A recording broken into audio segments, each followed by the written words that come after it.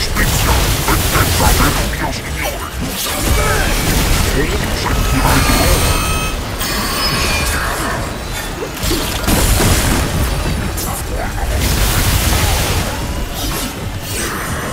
Nessuno sarà sbagliato, nessuno!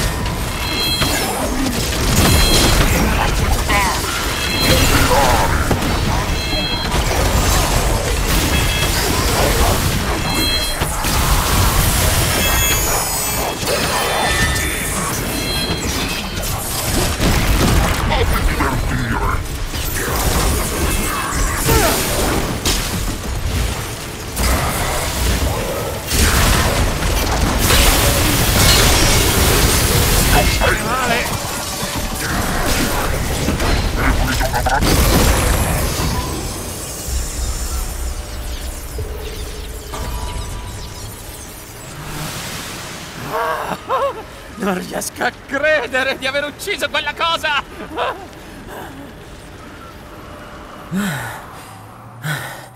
Clementine sarebbe passata da qui. Se così fosse, sono quasi sicuro che quella cosa sarebbe morta.